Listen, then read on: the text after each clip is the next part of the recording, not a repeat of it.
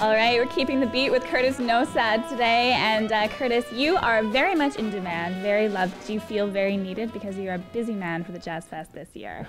I don't know about needed, but uh, maybe wanted. I'll go with wanted. Just how many gigs are you playing? Uh, I'm playing nine at the festival.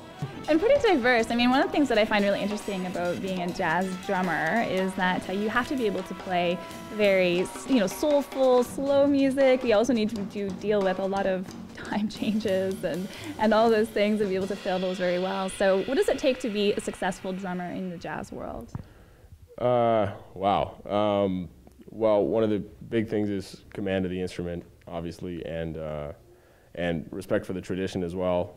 You know, checking out as much music as you possibly can, and especially now, that extends out, you know, way beyond jazz to other styles of music as well. I mean, I, you know, play rock gigs and hip hop gigs, and I played a country gig on the weekend. Like this, you know, there's there's all kinds of different things, but then all that stuff can inform, you know, what you can draw from when you're playing with people, because. Uh, you know, because everyone kind of has their own unique sound and everything that they're drawing from. So you need to be able to communicate with them as best as you can. So.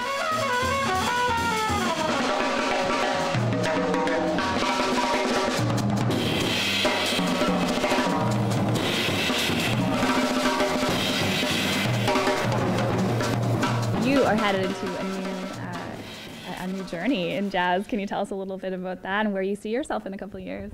Yeah, well, I um, I'm going to be starting my master's at Manhattan School of Music uh, starting in the fall. So my my wife and I are moving down uh, for the next couple years, and uh, yeah, then then at the end we'll see what happens. Whether, whether we'll be back or I mean we'll obviously be back. You know, I've been here.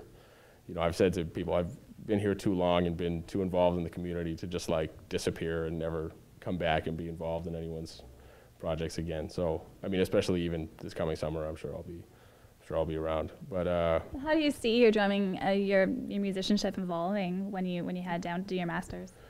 Well, you know, I mean, I I, uh, I am really looking forward to working with John Riley, who will be my my private teacher at, at Manhattan School of Music, and just being around all the music that's in New York. So I really see just you know really real like broadening of musical knowledge and as well tightening everything up as we're always trying to do. How did you how did you decide that jazz was your thing? Uh, well, it was kind of really good timing. Um, I was in, you know, I always played in jazz band at school. I went to Charleswood Junior High and then uh, Silver Heights Collegiate after that. And, um, and so I, I had always played in jazz band at school, and then the timing was really good because uh, Steve Kirby moved to town kind of right when I was, right, I guess I was in grade 10. And, uh, and I had just sort of, you know, I actually played in a rock band with a guy who also played jazz saxophone. So I sort of like, had like a little taste of playing, and then Kirby came and, and started the Monday Night Hang. So then I started going there every single week. And you know, the first time I sat in, I played half a tune and got kicked off the drums by an older drummer. it humbles you, though, right? Oh, of course, of course. And in, and within a couple years, I was in the house band, and so that's and you know that jam session is still going on Wednesday nights at, at the Orbit Room. Yeah, you know, obviously Steve Kirby, as you mentioned, he's been a big part of developing the community mm-hmm. of jazz in the city. I mean, you uh, you did a, a, show at Aqua Books just before it closed mm-hmm. down, and uh, that's a venue that we're still waiting to see if it will exist right. again. Uh, let's first of all talk a little bit about the compilation that came out of Aqua Books, but then also just what what else do we need to do to have a, a bigger, better jazz community? Well, the, the biggest thing is uh, biggest thing is to go out and hear the music. You know. Um, thankfully we have uh, Dig Magazine, which is a great resource for finding out, you know, what, what all is happening. Um, so that's a really big one. As far as the, the compilation, I'm really, you know, we are, like I said, we are waiting to see, um, you know, what's happening with, with Aquabooks. But, uh, you know, either way, we still, we recorded this, this compilation. That room sounded fantastic. Yeah. And we, uh, we recorded this, this live album in there, and I'm really, you know, glad, regardless of, of what happens with the venue, I'm really happy uh, that I could showcase, you know, a big chunk of the, the jazz community that way. And it, it's all original music, so everyone is everyone has contributed a tune.